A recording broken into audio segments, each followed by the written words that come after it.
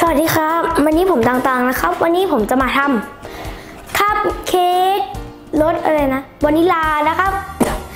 ซึ่งมันจะมีเป็นแป้งสำเร็จรูปแค่กล่องเดียวนะครับ สาหาสามารถหาซื้อได้ญี่ปุ่นมีรสสตรอเบอรี่แล้วก็ช็อกโกแลตด้วยนะครับ แต่เดี๋ยวนี้ Tops ที่พรีเมียมนะครับ Tops ของพรีเมียมก็จะมี 2 แบบเป็น Tops ธรรมดากับ Tops พรีเมียมTops พรีเมียมนะครับ Tops เมืองไทยนี่แหละ ก็จะมีเป็นขายแป้งสำเร็จรูปเลยนะครับ แล้วก็มีเขียนวิธีทำอยู่นะครับ มีอุปกรณ์ก็คือ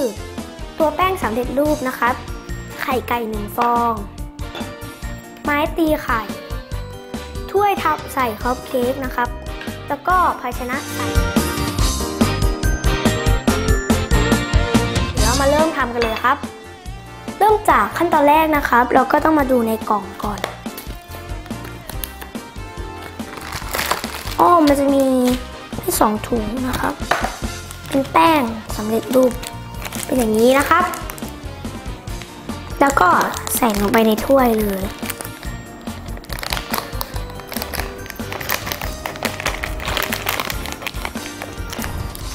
แล้วก็เทลงไปเลย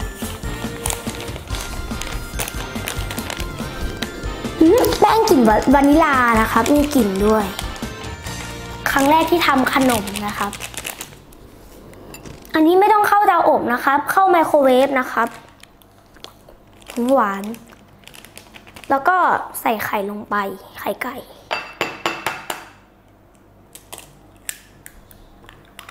ฟองเดียวนะครับแล้วก็มาตีไข่กัน อุ้ยแป้งหก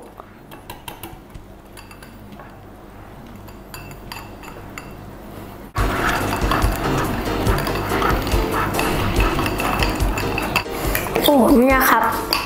ตัวเนื้อก็เริ่มดีขึ้นเรื่อย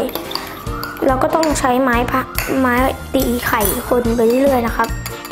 นี่นะครับผมก็คนมาสักพักแล้วนะครับพอคนนะครับเราจะเห็นว่าเนื้อมันเนียนขึ้นนะครับ แล้วก็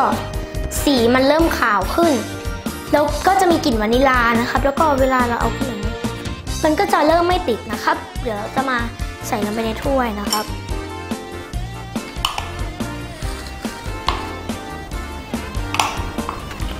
มีมด มีมด กลิ่นมันหอมมาก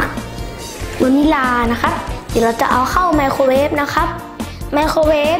600 วัตต์ต่อ 1 นาทีนะครับ ถ้า500 วัตต์ก็ 2 นาทีนะครับ เดี๋ยวเราจะไปเข้าไมโครเวฟทั้งหมด 1 นาทีนะครับ นี่นะครับเราก็จะมาเข้าไมโครเวฟนะครับ อย่าลืมนะครับ 600 วัตต์ต่อ 1 นาที 500 วัตต์ต่อ 2 นาทีนะครับ ผมจะเอาใส่ลองใส่ก่อน1นาที ถ้ามันยังไม่ฟูก็ใส่อีกประมาณ 15 วินะครับ แล้วก็ปรับไว้ เดี๋ยวเราจะลองเปิดดูนะครับ น่าจะดูข้างนอกมันดูฟูมากครับโว้วว้าว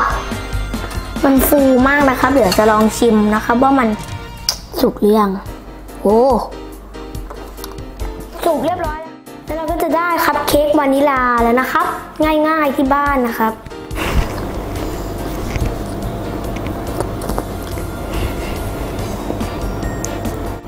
ข้อแนะนำของการทำคัพเค้กนี้นะครับก็คือ เปิดไฟธรรมดากลางๆนะครับ อย่าร้อนมากแล้วก็อย่าเบามากนะครับ ถ้าร้อนมากมันจะฟู แล้วถ้าร้อนจริงๆนะครับ มันจะไหม้เลยนะครับ อันนี้ก็มีข้อดีเหมือนกันนะครับ คือทำง่ายมากแล้วก็น่ารักมากนะครับ แล้วเพื่อนๆก็สามารถตกแต่งได้ด้วยนะครับ แต่ผมไม่ตกแต่งแล้วผมจะกินนะครับอืมอร่อยมากครับ